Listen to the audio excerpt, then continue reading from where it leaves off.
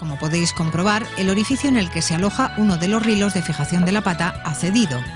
Quitamos el rilo embutido en la madera, ya que no lo volveremos a utilizar, y limpiamos la zona retirando los restos de madera. Para reconstruir la zona utilizaremos una masilla pegamento extra fuerte que trabajaremos con las manos ya que se puede moldear fácilmente. Antes de que el producto empiece a calentarse lo aplicamos en la zona a reparar. Su capacidad de relleno la hace adecuada para reparar y restaurar muebles, así como pegar y reconstruir todo tipo de objetos. Presentamos la pata contra el sobre de la mesa e introducimos el tornillo de fijación, que con el producto aún fresco hará rosca en la masilla sin necesidad de colocar de nuevo el rilo. Apretamos el otro punto de fijación de la pata y dejamos endurecer el producto el tiempo que indique el fabricante.